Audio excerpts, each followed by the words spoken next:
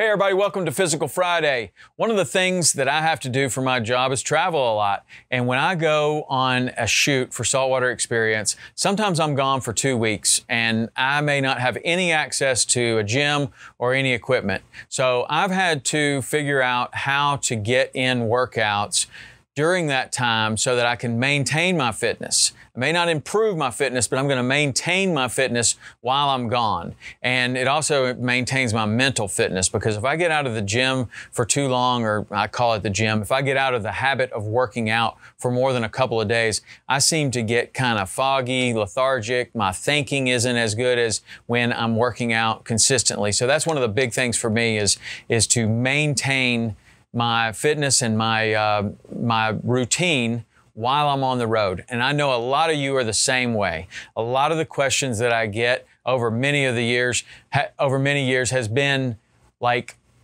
give us some travel workouts. What do you do on the road?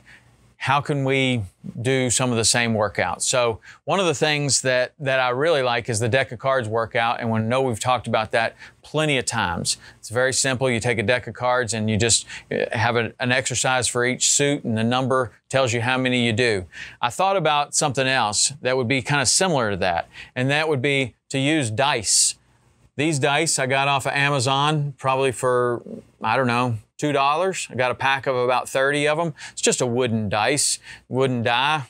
Got two of them. So what I can do with these is I can set each side uh, as an exercise. And on the other one, I can set each side as a number. And then I can roll the dice and I can decide, okay, when I'm on the road, I'm going to wake up in the morning and I'm going to have 30 minutes where I'm going to get my workout in.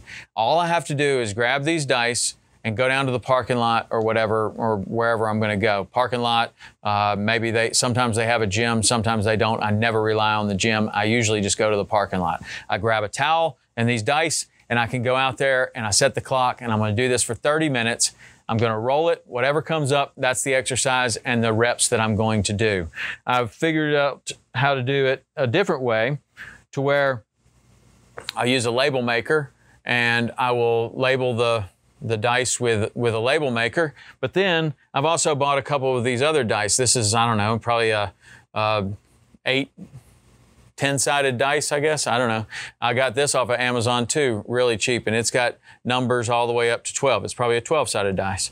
So it's a 12 sided dice. I roll this, whatever number this comes up, and whatever exercise this comes up, I'll just keep doing that for 30 minutes or 40 minutes, or maybe I've only got 10 minutes but I've got it right here in my bag and I can always do that. So I'll always travel with a deck of cards and I'll always travel with these dice and I'll show you how you can make your own uh, it's really simple. You just go to Amazon, you get these blank dice, you mark them with whatever exercises that you like to do squats, push ups, sit ups, flutter kicks, pull ups, whatever you think that you're going to have access to.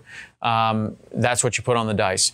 So I like to have one that is completely free of any equipment whatsoever. So if I get myself in a place where they don't have a pull up bar, uh, I can just do, you know, burpees, push ups, flutter kicks, squats and I even have a joker on here, which means that maybe I'll run around the block or around the parking lot or whatever. So I have one dice that is completely free of any equipment. And I might have another one where if I have a single dumbbell at a, at a hotel gym, this one I've got a single arm press, a goblet squat, a kettlebell, single snatch, and uh, a deadlift. So I can do all of that stuff with a single dumbbell and I will use, you know, one of these kind of dice like this as my number. So if I roll it 10, 10 uh, dumbbell snatch, 10 goblet squats, whatever, whatever it comes up, that's what I'm going to do. And I'm going to set my time the night before.